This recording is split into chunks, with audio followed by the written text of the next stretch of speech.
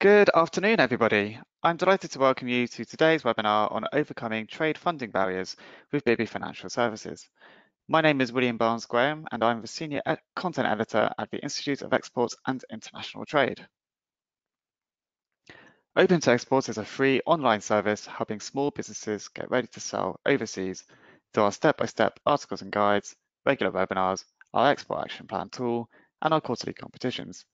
You can find out about all of these on our website at www.opentoexport.com.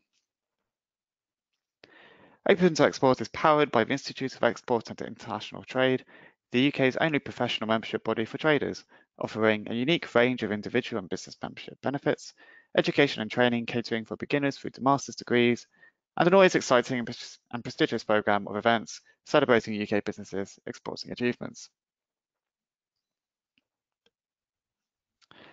We will be running a live Q&A at the end of the session, so you can ask questions at any point during this webinar using the question box on the control panel to the right-hand side of your screen. Today we are joined by Yvonne Riddle Anderson, the Export Head of Operations at Bibby Financial Services, who are, I'm sure, do a much better job introducing herself than I will. So over to you, Yvonne. Thanks very much, Will. Uh, yes, good afternoon, everybody, and thank you for coming to our presentation on how to come overcome common funding barriers for exporters. Next slide. I'll have a quick run through who Bibby Financial Services are, talk about what our research tells us about both UK exporters and UK exports, what the common barriers are to overcoming um, issues with exporting, what to research, how to work with your financier. We'll end up looking at a couple of case studies and as Will mentioned, be pleased to take any questions at the end of the presentation. Next. So Bibby Financial Services are a leading independent finance provider. Very importantly, from, from this slide, you will see that we have 40 offices in 14 countries around the world. They provide support uh, and a valued service to our exporting clients in terms of managing time zone issues and language barriers. And I will talk about that some more later on. Bibby Financial Services have been involved in export finance for the past 15 years and have a team of exports um, working with exporters more or less around the clock if we include our offices around the world um, to grow UK export. Next. And this is who we are. I've been with Bibby for four years. And on this slide, you can see my colleagues in the specialist products division of Bibby uh, Financial Services. We have construction finance, export finance that we're talking about today, trade finance, recruitment, and extremely important for our exporting clients, an FX business that provides spot and forward contracts to actually both existing BFS clients and to non-clients that, that, that have such a need. Uh, next slide. I think that um, there may be some, perhaps on the on the um, presentation, that aren't aware of uh, what invoice finance is and how it works. And this is how we fund our clients' overseas trade. So the client invoices the debtor for goods sold and sends us a copy of the invoice when risk transfers according to the Incoterm. Typically, we would provide up to 90% of the value of the invoice immediately. That will have some dependency on the markets the exporter is selling to. If they are what we might consider higher risk markets where economic or political risk might be involved, then sometimes it would be lower than 90%. The invoice financier, whether it's BFS or any other invoice finance business that you choose from the, from the um, high street, um, chase the payment of the invoice when it matures. The client can also opt to chase for payment themselves Uh, if they already have a robust credit control procedure in place, we don't want to take that away from them. The debtor will pay the invoice to the invoice financier either directly or into a trust account. If it's an undisclosed uh, facility where maybe the customer is not aware that an invoice financier is involved, they will pay, pay into account in the client's name.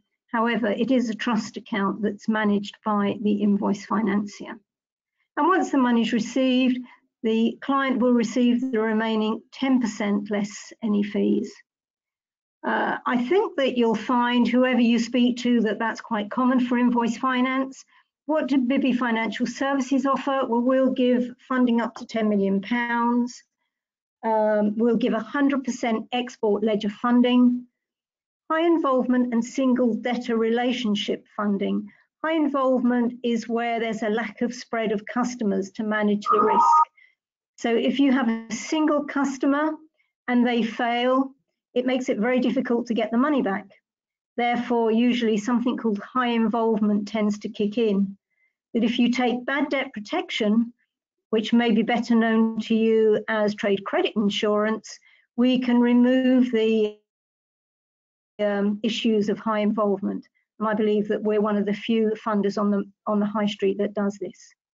Obviously, we're now giving you speed. You're getting your invoices paid faster.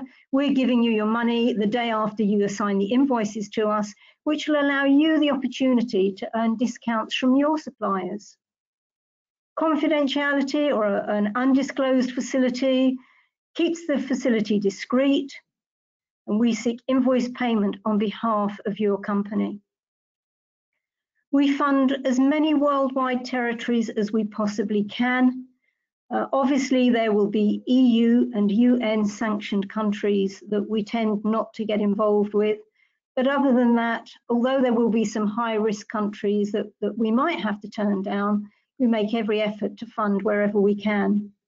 We provide language and time zone support both through our offices in the 14 countries around the world. And we also have over 21 language speakers in our office in Banbury, which is where our head office is.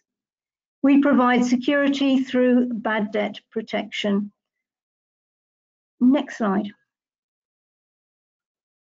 We do a lot of research with exporters, uh, both our clients and exporters in general, and the information that you see on this slide is what uh, we've been able to, to gauge from latest surveys. So the top three export destinations, USA, Germany and France. If we extend that to the top five, that would probably also include Ireland and the Netherlands. And that those top five, particularly two, three, four and five, tend to change places quite regularly. 50% of uh, the top 20 export destinations are within the EU. However, uh, we are seeing more interest in North Africa, in South America and Southeast Asia, particularly for technical manpower in the oil and gas industry. One of the biggest issues that our exporters tell us they have the most problems with is foreign exchange. Uh, more than two thirds of those with an FX requirement have adversely been impacted by currency volatility in the past year. And in fact, on average, 69,000 pounds worth of money that's come off the bottom line basically in the past 12 months where those where those SMEs have been impacted that's a big that's a big chunk out of a, a bottom line margin. And almost a quarter of those SMEs say that they have never reviewed their FX requirements. And this is why it's so important that Bibby is able to offer an FX facility, as I mentioned, both to clients and to businesses that are not clients of Bibby. However, for those clients that we have, if they take up the facility, like the high street banks, we do not ask for a deposit in advance. So the top three challenges you won't be surprised to see. Number one is managing currency fluctuations, followed by logistics, if you're shipping goods from Birmingham to London, it's a completely different ballpark when you're shipping from the UK to Singapore, where the goods might be on the water for a couple of weeks. There'll be different, there'll be new paperwork involved, bills of lading, certificates of origin, certificates of insurance, and general customs paperwork that perhaps new exporters will not be um, familiar with. Similarly, when we look at our importers um, who come to us for our trade finance facilities, again, it's managing currency fluctuations. It's about the VAT and the freight payments that they have to make up front, and again, logistics. It would be very difficult, I think, to run this presentation without mentioning Brexit at all. We do believe that our own clients are starting to look at uh, the impacts of Brexit more closely, at customs tariffs and how this might affect their businesses after we leave the EU. Many of our clients tell us they're not expanding exports just now. They want to wait and see uh, as they consider that the, the waters remain quite muddied in this area. Next slide. So further uh, information regarding our research, uh, I'd like to come down to sales expectations. That's quite interesting. Uh, a decline in sales perhaps for, for Hong Kong, but increases for Singapore and Canada, for example, where we're seeing uh, a demand for funding projects in these markets more and more. And you'll notice then we've got the EU, Netherlands, Germany, the Czech Republic, and so on. And I mentioned in the previous slide that many of our exporters are telling us they're in a bit of a wait and see at the moment, that they're not expanding their exports. But when you actually look at these statistics, it might suggest otherwise. Now, whether that's um, evidence of a mixed bag between pro and anti-Brexiteers, I think we'll have to say that only time will tell. Uh, the other um, graph on here I'd bring attention to is the average payment times. So interestingly, a market such as Singapore takes quite a while uh, to affect payment, whereas the USA, where you also have maybe goods on the water for two or three weeks, are quite quick in making payment. So we see this as a mix of local culture environment on payments um, versus shipping times. If you look at France, where certainly it doesn't take so long to get the goods um, delivered, historically, for some years now, we've seen France uh, with average payment days above several markets, particularly within the EU. And we always take a rule of thumb and say perhaps anything north of the Loire Valley is paying um, much more quickly than anything south of the Loire Valley. Uh, next slide, please. So there is a link to our research. We have several reports a Trading Places report, and a quarterly SME confidence tracker. These can be downloaded quite free of charge from our uh, website. And I know, I think that Will will be um, telling you that you can have a copy of this presentation uh, after we finish today. So don't worry about making a note of the um, email, of the web address now. You can pick it up later on. Next slide, please. This is what our clients tell us they identify with and which contribute to the costs involved in exporting.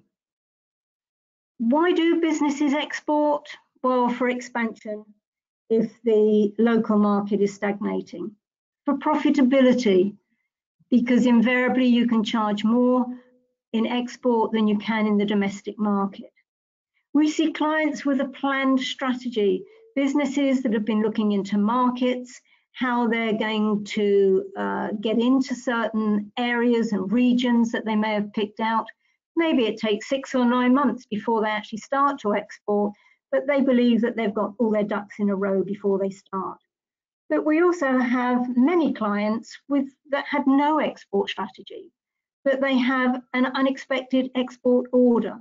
Maybe they were at a trade fair and the next day an order comes in and the client doesn't know what to do with it except that they're very happy to take the order and maybe don't always think about what may be involved in, in exporting goods. And this is where the expertise of organisations such as Open to Export and the Institute of Export where we're always guiding our clients to uh, refer, uh, can come in uh, much use, I would say.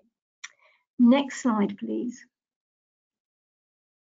So what we uh, wanted to, to, concentrate on today was, was, funding. And obviously there are other opportunities other than invoice finance in the marketplace. Letters of credit, um, now these are a secure payment method if the terms of the LC are fully met, but they're also quite expensive and your bank may reserve value of the LC from your overdraft or funding agreement with them. Forfaiting, usually for single contracts and larger transactions, terms up to 180 days, and uh, a method of payment that we don't come across too often in the invoice finance arena. And we have invoice finance, of course, which is the funding of your short-term receivables with credit terms usually up to 120 days. Invoice discounting is also something that the invoice financier will offer. It's a bulk upload of invoices rather than an invoice by invoice upload. But again, it gives immediate cash and terms of payment up to 120 days. So several op options to think about. Next slide, please.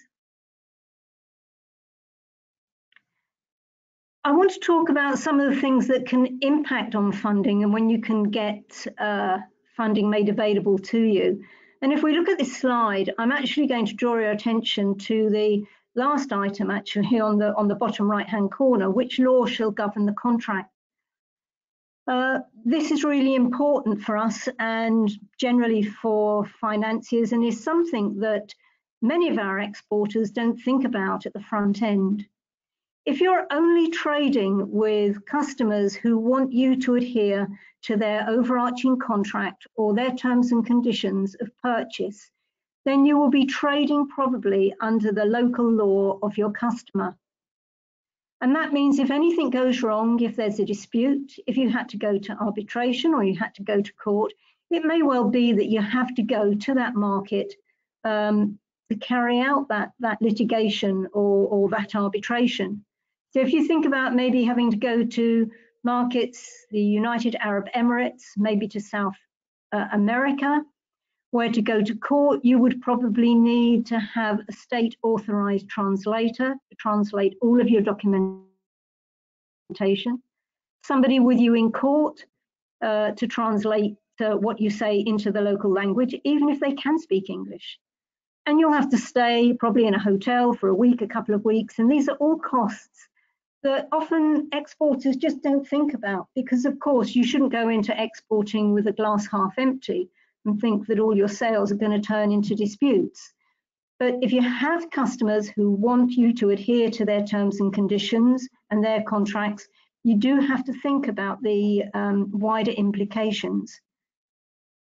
An exporter should always have his own terms and conditions of sale, and they should be suitable for exporting so they should include things like Incoterms and uh, elongated payment terms uh, and, and how disputes will be managed and ideally always mention that it would be under the um, legal jurisdiction of Wales and, and England. But there are other um, there are other things to think about. If you have your own um, contract uh, what to put in there. And we find that the Institute of Export and Open to Export are very good at supporting um, businesses and what they should have in their terms and conditions. And I know that the uh, Institute of Export have recently announced a, a new type of membership where they can support exporters with the correct terms and conditions of sale.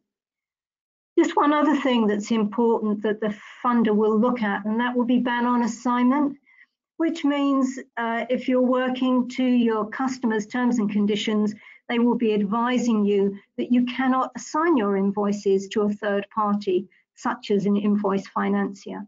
That invariably will go on to say that they're happy to accept this, uh, providing you seek their permission. And most invoice financiers will have a ban on assignment waiver letter to provide to you to overcome that particular issue.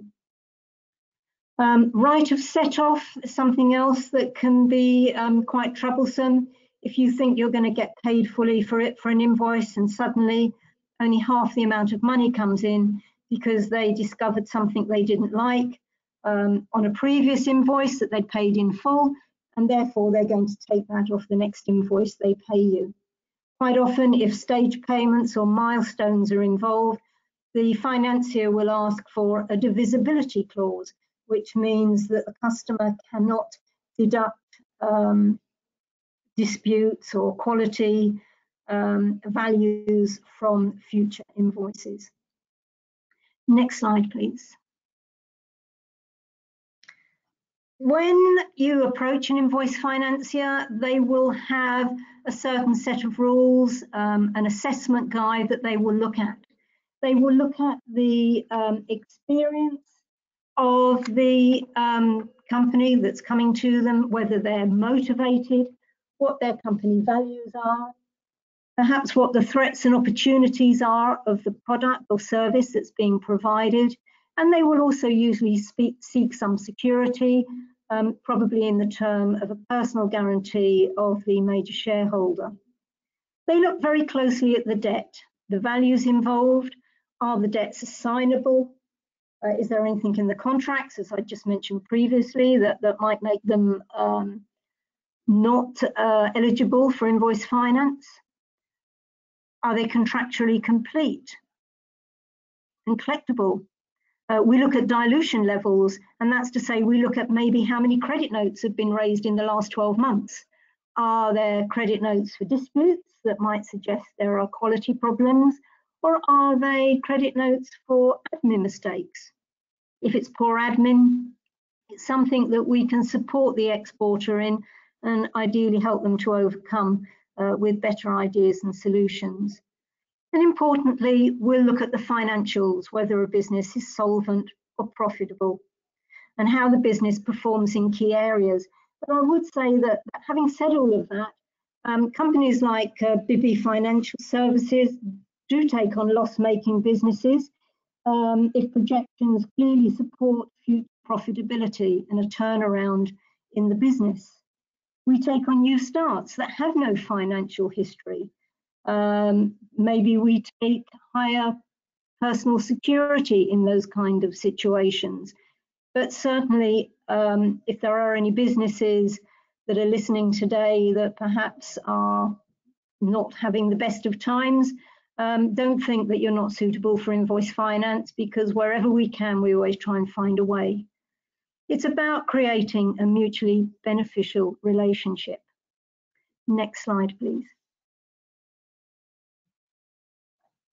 Incoterms also impact on funding where invoice finance is involved particularly.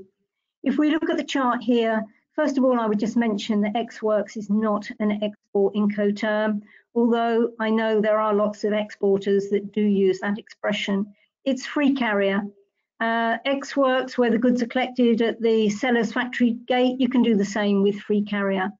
And it's where risk transfers, which may well be, in this case, at the factory gate, that um, our clients are able to assign their invoices and we can provide the funding. So we accept invoices and fund where risk transfers. So if you go to the bottom of this chart and you look at DDP, where the goods are being delivered uh, maybe to uh, the customer's warehouse in uh, the named destination or even to the front door of your customer. If that's going by sea and it's far away and it's taking three weeks before we can get evidence of risk of transfer, then obviously that's a longer three weeks before we can provide funding on an invoice. Uh, next slide, please. Research is key. If you don't have a checklist and you're new to exporting, please get one.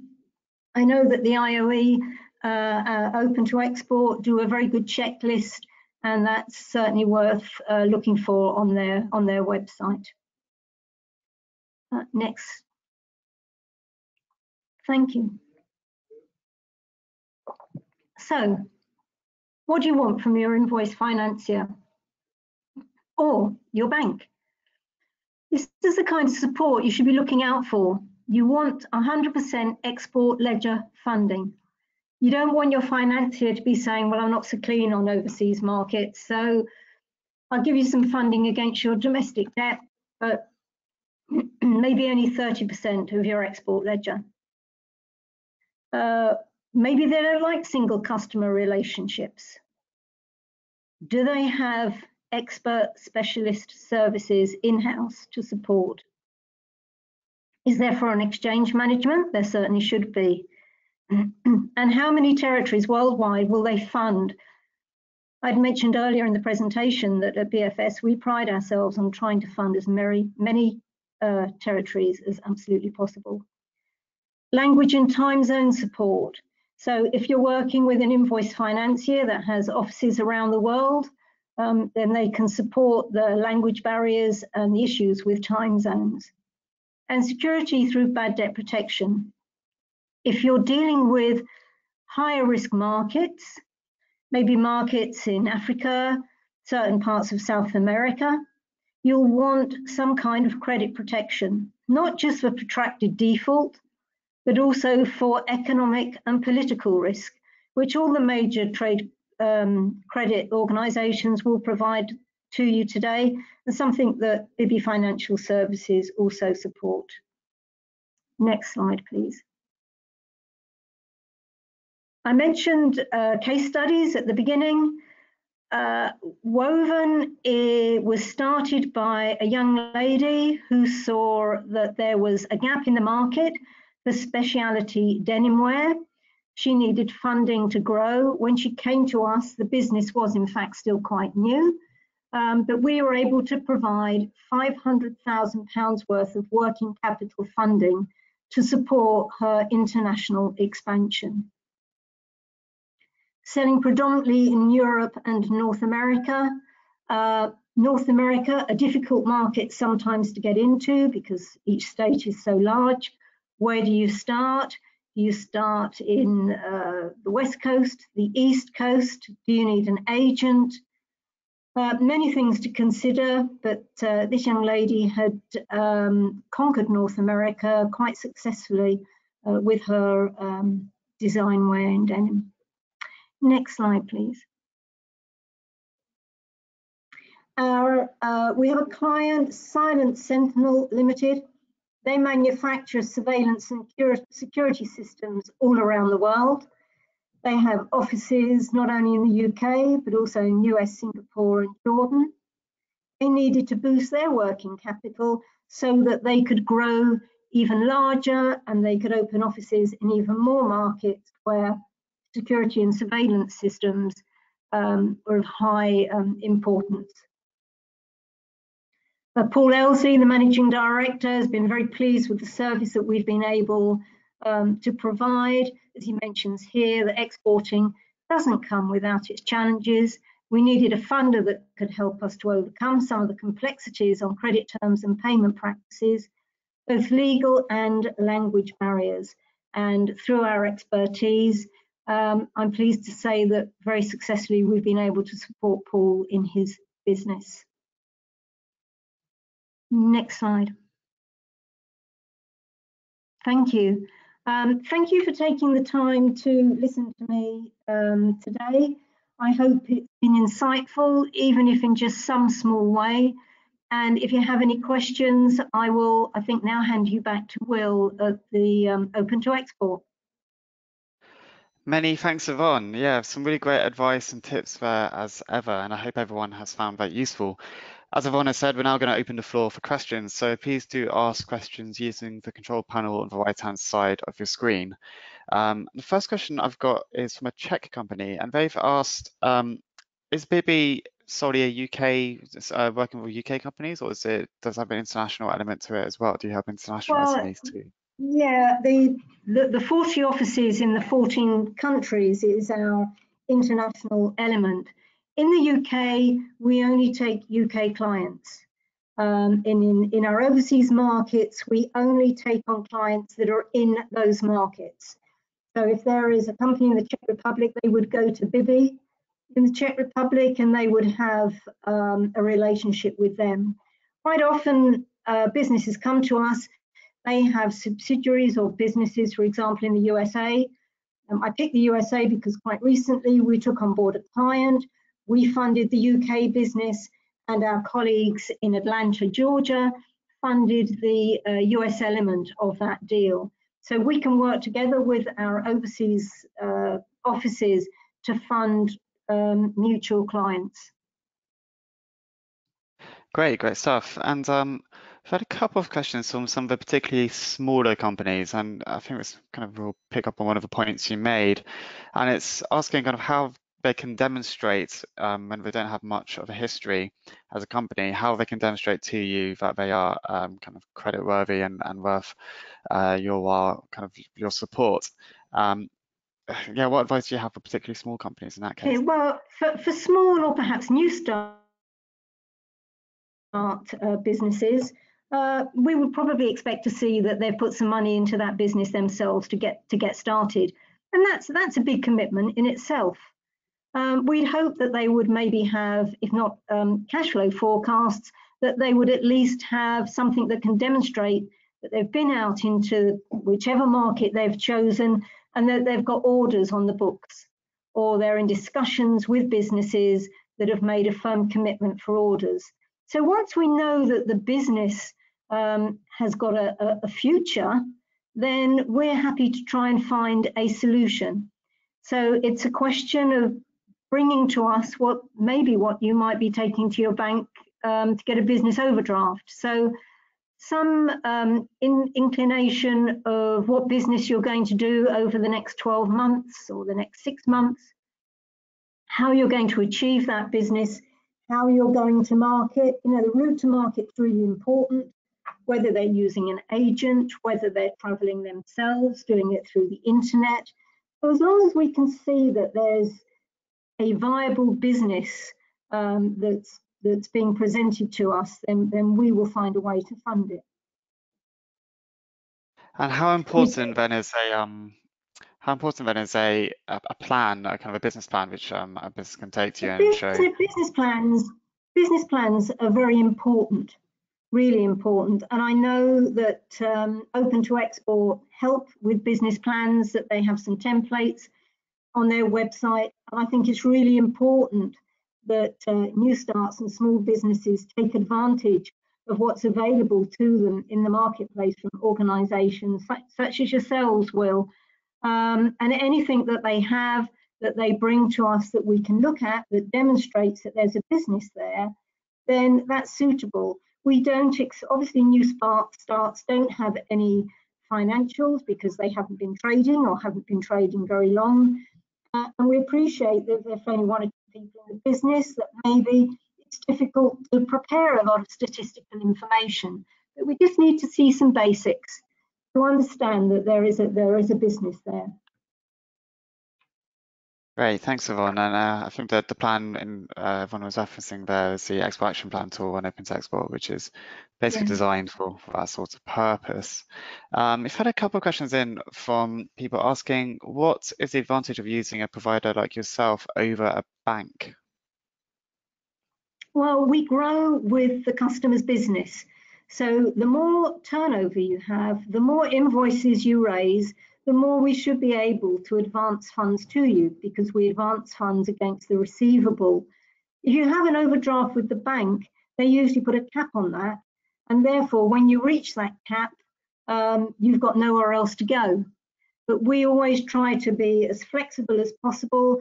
Uh, we can see when our clients are growing. We talk to them in advance.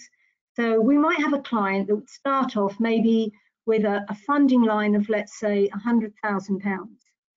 But nine months down the line, they're getting new orders in, they're getting heard about in those marketplaces that they've targeted, uh, turnover's growing, and they now need 130 or 150 or maybe even 200,000 pounds. We have relationship managers that work with our clients that are talking to them regularly as soon as a client says, look, I've got a new order, I think I'm going to grow, I think the amount of money that you're lending to me is not sufficient, then we would relook at the whole facility and we would endeavour to give um, those clients as much as we possibly could against their receivables so that they can meet their, their target growth potential.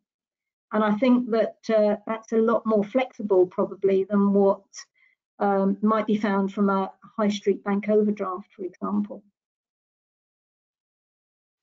Great, thank you. And um, we've had a question just in from Jenny, who's asked, how do uh, Bibby help companies manage their international financial transactions, i.e. paying in dollars or euros? Yeah, uh, we appreciate that if you're going to compete locally, you're probably going to have to invoice maybe in euros or US dollars, for example. So you can have a sterling account, you can have a US dollar account, you can have a euro account. You can invoice in those currencies and we will receive monies in, in those currencies. If you have a use, for example, for US dollars, let's say you're invoicing in US dollars and your supplier is charging you in US dollars, you can use those US dollars to pay your supplier. If you don't have a use for the US dollars, then maybe you take advantage of one of our spot or forward contracts through um, BBFX uh, we can um, uh, convert currencies uh, into sterling at spot rate um, through BBFX, and we have some um, we have some very good good rates to offer as well. So that yeah, we can, and we appreciate obviously that exporters have to deal in currencies other than sterling if they're um, serious about um, getting into local market, particularly there where there may be a lot of competition. Great, thank you. And um, uh, just remind everyone, you can ask questions using the control panel on the right-hand side. So um, if you've got a question, please do feel free to, to ask it. We've got a bit of time um, remaining. Um, interesting question here in reference to your uh, research paper, the Trading Places paper. Um, and it's asking particularly about what impact has Brexit had in terms of SMEs approach to exporting? Um, it's a bit of a, a, loaded question that one, but um, mm. in terms of research, how... well, I mentioned Brexit only briefly because it is a very it's a difficult question to answer, and I think that when we speak to our clients, uh, some of them are doing nothing. Some of them are burying their head in the sand and waiting to see what happens, um, hoping that perhaps there'll be another referendum um, and the, the, the, the um, final outcome will be that we have a deal with the EU. Others of our clients, maybe the larger of our SME clients, are seriously now looking at tariffs, how it's going to affect their business if they have to um, start paying tariffs, um, how that will affect the price of their goods or, or um, the service being provided. So there is definitely a lot more, I would say, interest and concern than there was six months ago. But we're still getting mixed messages from our clients. And I can't say that there is one particular issue or a nugget of advice that's coming from um, the information that our clients are giving us that, that, that intimates to us that we're moving in it, that exporters are moving in a certain way. Many are saying we're happy with the export business we've got that we're not going to go out to new markets. We're not going to do any more until um, we see what happens. Yet, as you could, as you saw from the information, most of the exporters think that there will be increase in turnover in markets such as I mentioned Singapore and Canada, and we hope to get um, a deal with Canada. Yet also markets such as the Netherlands, um, I think Czech Republic, we will still see growth in those areas, those those EU markets that we're so dependent on in the at the moment. So as I said, it's a mixed bag, and I think it depends whether you're a pro or anti-Brexiteer to a certain extent as to how much you're actually involving yourself in, in getting prepared. That's a really good answer, thank you. And um, just one last question, because the questions are drying up slightly. We've had a couple of people okay. ask um, a couple of people ask about letters of credits and how they can work for small businesses.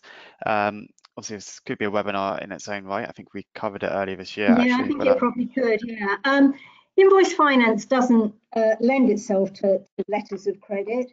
So I, I, probably would start by saying that I'm not the absolute expert, expert, but what letters of credit do, because they're they're secure, it's a it's an exchange of documents between banks, between the um, customer's bank and yours. So providing everything goes well, there should be a, a guarantee that you will get paid. But the documentation against the goods all has to be in order. And quite often that documentation can go wrong. And if it goes wrong and you have to uh, pay for amendments to be raised, they're expensive. They can be expensive. The High Street Bank will charge you for every amendment on every letter of credit that you have outstanding. And of course, if you're going into a new export market um, and you yourselves are, uh, uh, are new to um, to exporting, you know, many customers don't want to pay by letter of credit these days. I think it's quite acceptable in, in some markets still, such as China, for example. But if you're just going uh, over the water to begin with into Europe, you're not going to get very far if you're asking your customers to pay by letter of credit. They are expecting to receive open account terms.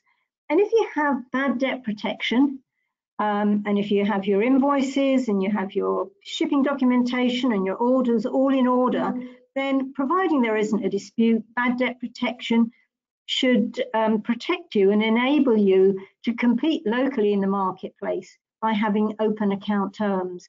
I think that letters of credit, especially for very small businesses, are um, extremely expensive and take up a lot of time as well.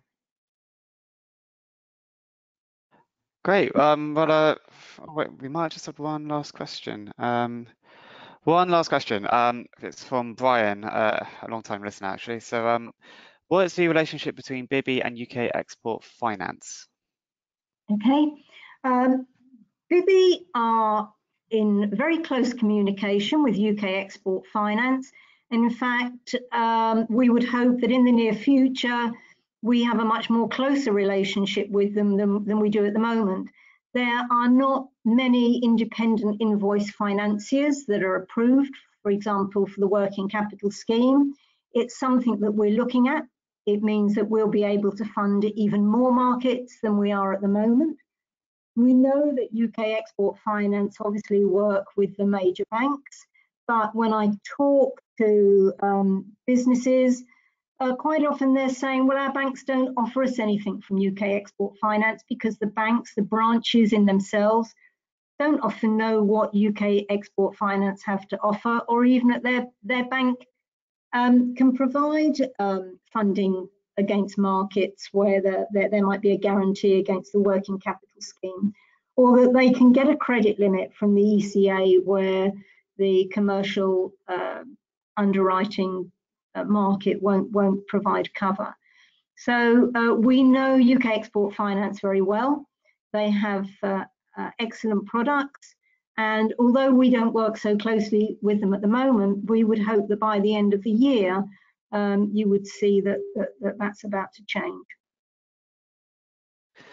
Fantastic. And we've had one question in while that uh, while you're answering that one. It's from Joanne. It's a really good question. Um, it's in regards to markets with embargoes or political risks, other political risks. Will you try to find markets or banks that will work with such markets, uh, Iran being an example, or will you just say you cannot help with those markets? Sorry, which market did you say? Did you say a market? I didn't quite hear you. It was uh, Iran was the example. Okay, well, if there, if a market is sanctioned by the EU or the UN, then we are unable to fund it. There are other markets that um, we deem as high risk markets where in uh, the uh, commercial underwriting space, they only recommend letters of credit.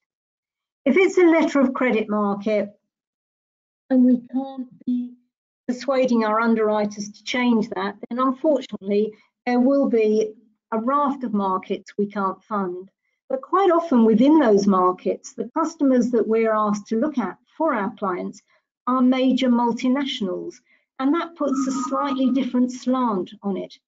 Because if you're being asked to look at a, a, a Shell or, or a BP, for example, in an African nation that usually might be considered too high a risk, that because it's a multinational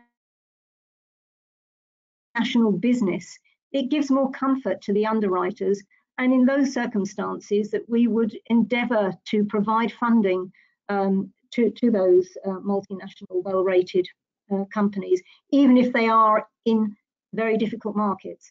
I'm not saying that we can do it every time, but we certainly um, see every case and take it on its own merit and try to cover as much as possible.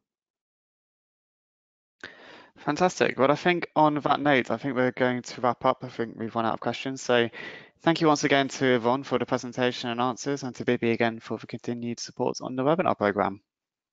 Yeah, you're very welcome. Thanks very much. It's now the autumn and as ever, we've got plenty going on over, the, over the next couple of months. First, the Queen's Award for Enterprise, a prestigious annual award for UK business, which could see your business gain worldwide recognition and be invited to a fabulous royal reception in the summer. The deadline to enter that is September 12th. We then have the Institute of Export and International Trade taking its World Trade Summit programme to both Liverpool and Coventry in September and November. Indeed, uh, Bibby will again be with us in Liverpool, so um, you can meet them as well as other very good experts and trade professionals. Um, the, to, to register to those, you need to go to export.org.uk forward slash events.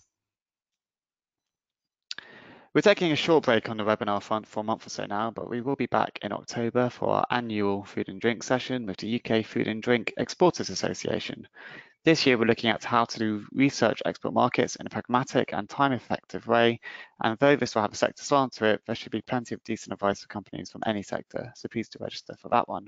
It's on October 16th, and you can find sign-up details for that and all of our webinars at opentoexport.com forward slash webinars. Finally, as always, please do take our exit survey to let us know what you thought of today's webinar and to give any suggestions for improvements or future topics. But for now, goodbye.